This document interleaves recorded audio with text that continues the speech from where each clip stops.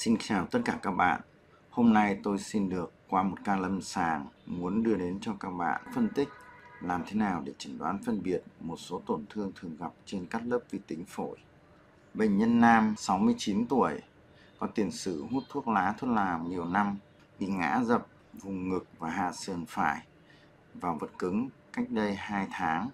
Sau ngã có đi khám và được kê đơn thuốc uống tại nhà một tuần không đỡ. Bệnh sử cách trước khi vào viện khoảng 10 ngày, bệnh nhân xuất hiện ho nhiều, ho cơn, ho có đờm, kèm lẫn máu đen số lượng ít, tức ngực phải, khó thở nhẹ, chưa dùng thuốc gì. Hai ngày gần đây, bệnh nhân ho tăng, ho nhiều, đờm đặc, có nhiều máu đen, được người nhà cho vào nhập viện và đã chụp x-quang cũng như các lớp vi tính lồng ngực.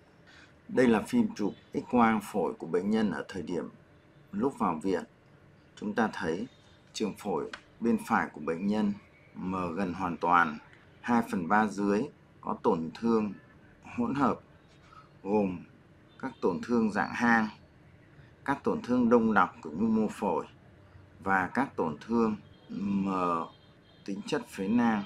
Trong đám tổn thương không đồng nhất này, vùng cạnh rốn phổi bên phải có vùng tổn thương mờ đậm độ dịch đồng nhất, chưa loại trừ có tổn thương khối u. Với phim chụp X-quang như trên, bệnh nhân được chuyển sang chụp cắt lớp vi tính và đây là phim chụp cắt lớp vi tính lồng ngực của bệnh nhân không tiêm thuốc cản quang.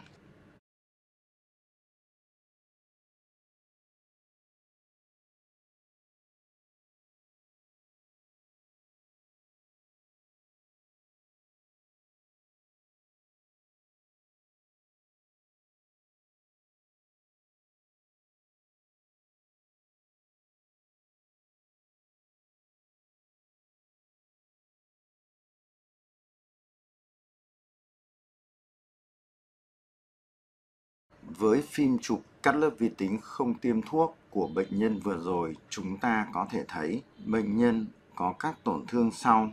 Thứ nhất, đấy là tổn thương dạng hang khá lớn nằm ở thùy dưới của phổi phải với các mức dịch khí như trên hình. Chúng ta có thể có hai giả tiết về hình hang này.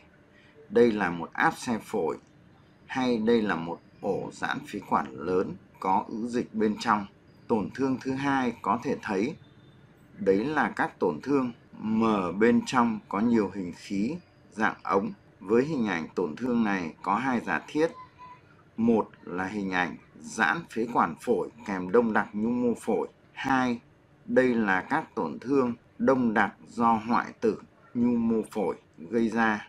Ngoài ra, trên các ảnh chụp cắt ngang cũng như trên các ảnh dựng lại trên mặt phẳng đứng ngang chúng ta có thể nhìn thấy vị trí nghi ngờ có khối mờ trên x-quang là hình ảnh một đám mờ đặc đồng nhất kèm theo có hình ảnh tắc một nhánh phế quản chi phối vùng phổi này.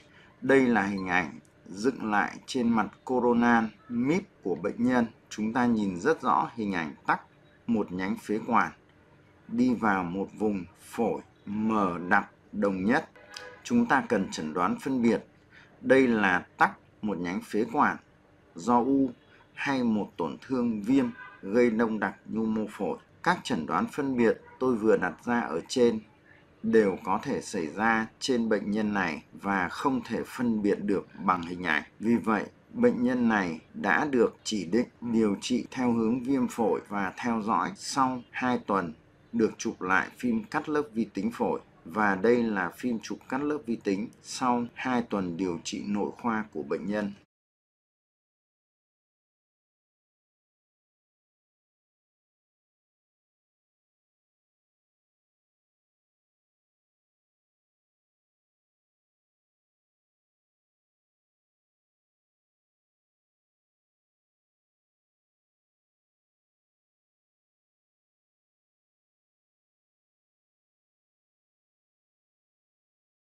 Qua phim chụp vừa rồi, chúng ta đối chiếu so sánh trước và sau điều trị 2 tuần của bệnh nhân.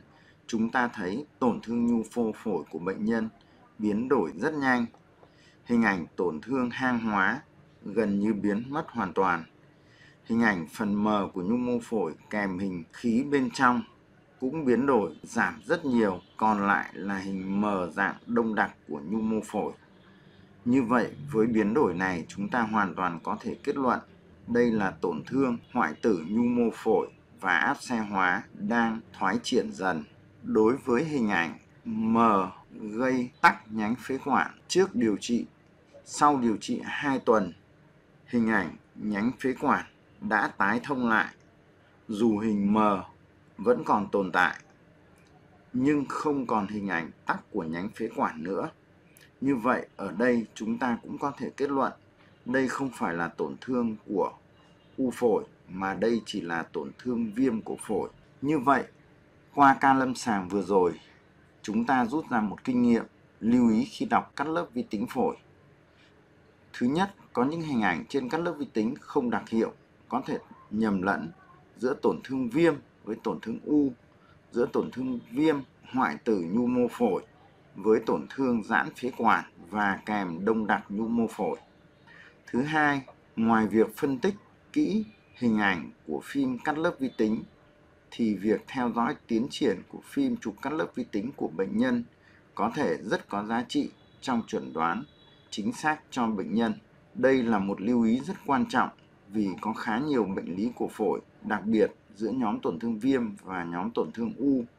Trong nhiều trường hợp, chúng ta không loại trừ hay chẩn đoán xác định được bằng hình ảnh, mà cần phải theo dõi tiến triển lâm sàng của bệnh nhân sau 2 tuần đến 4 tuần điều trị nội khoa.